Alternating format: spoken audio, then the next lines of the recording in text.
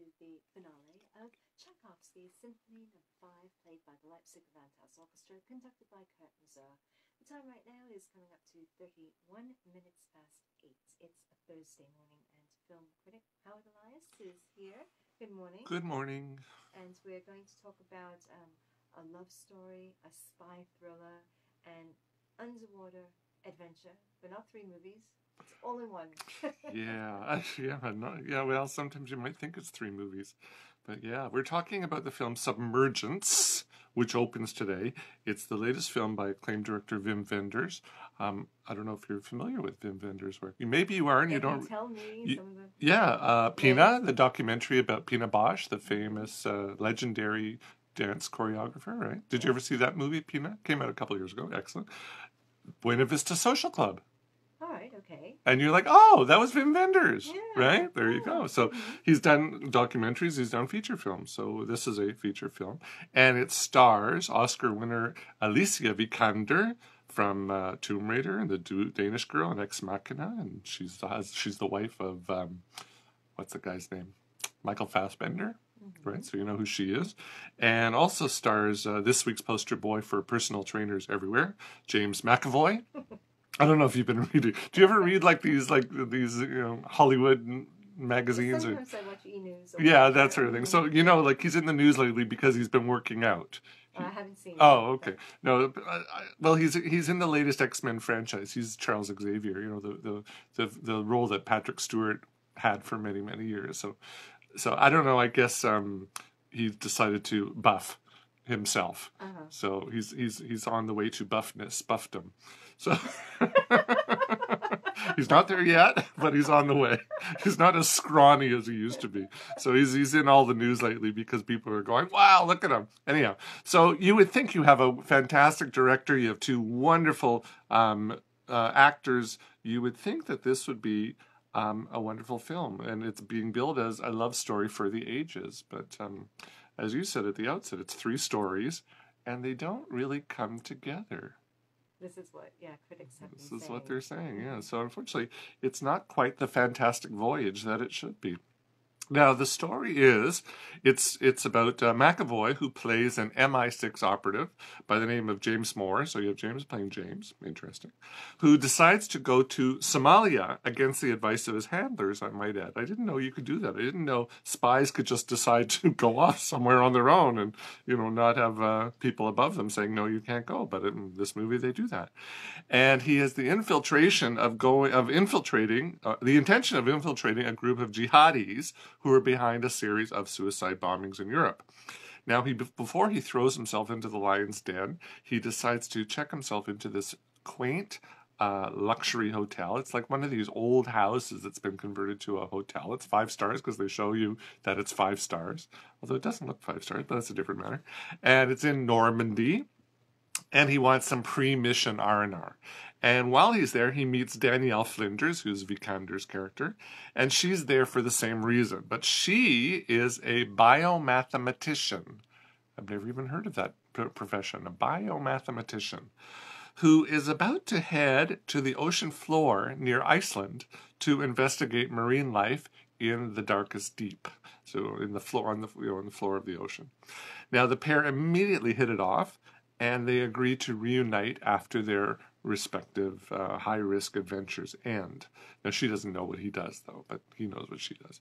Now, once in Somalia, however, Moore is taken captive and he's held in a dark room within earshot of the ocean surf.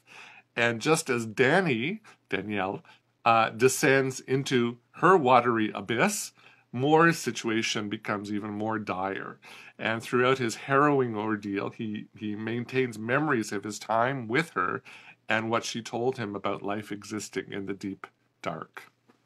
So that's the, the, the, the crux of the story. So they're both entering darkness. She's entering optimistically. He's entering a little, you know, I don't want to say pessimistic, but nervous because his life is, is definitely in danger. And, uh, but he remembers what she told him. So you know, that's the story. Now, it may be, you know, as I was watching this film, I thought it's sort of reminiscent of The English Patient.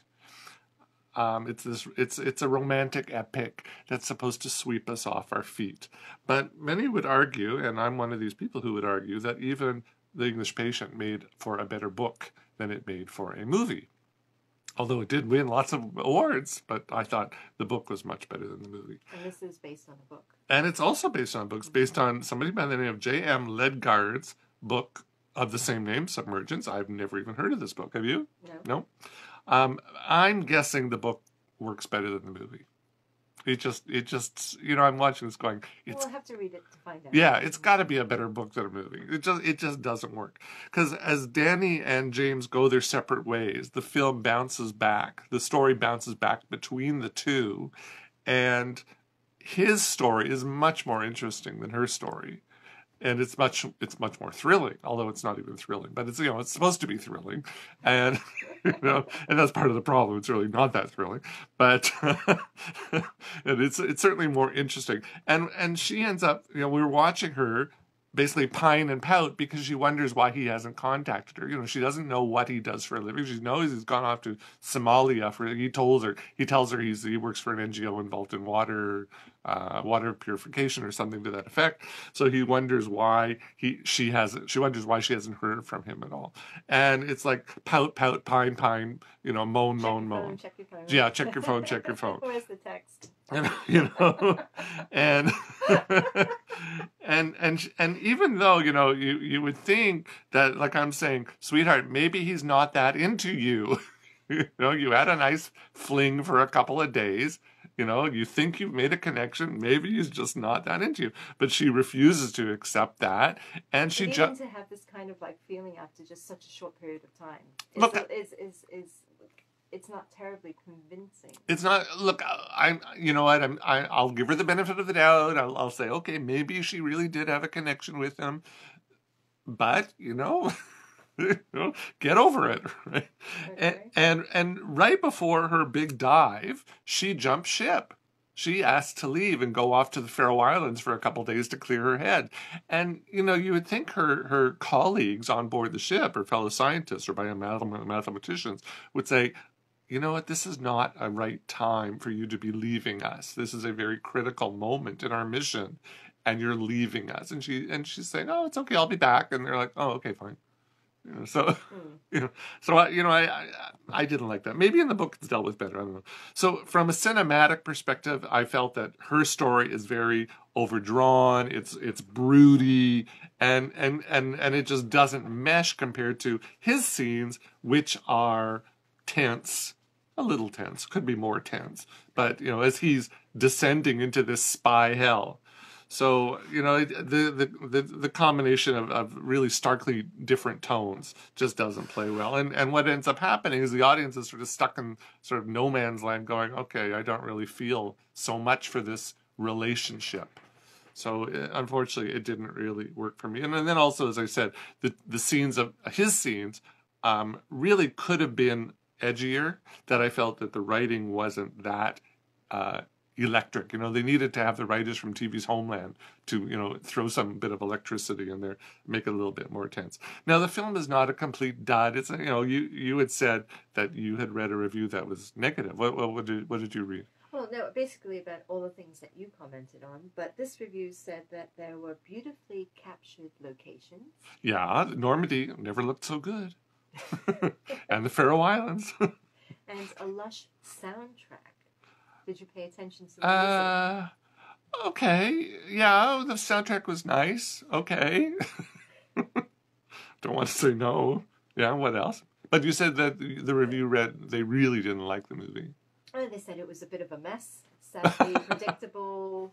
Uh, Of course, it, yeah. It's, of course, it's predictable. And and as I was thinking, well, what if they had made it unpredictable? Would that have worked? And I think yeah, they could have. They could have made it. You know, the ob- you know obviously you think okay they're going to get back together, right? That's the that's the predictable. And I don't know. If, I don't remember. I don't want to ruin it, but I don't even remember if they do get back together. To tell you the truth. No, that's a spoiler. Yeah, that's a spoiler. but you know, like let's let's go with the unpredictable. Like, let's say they don't get It back that together. you don't remember. Yeah, it was that good. I, I've seen three movies in the past five days. You know. Oh. So, um, you know, let's say they, we go with the unpredictable, where they don't get back together. Would that have worked? And I think, yeah, that would have worked. So um, yeah, okay.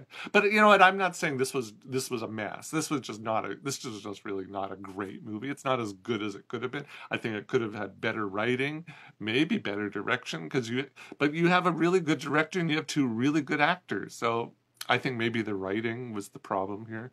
So it, it didn't really work for me. It it wasn't a love story for the ages. Um, certainly, if you watch the trailer, you think it will be. Um, and honestly, she's gorgeous to look at. I'll be very sexist and say that. I could watch her all day.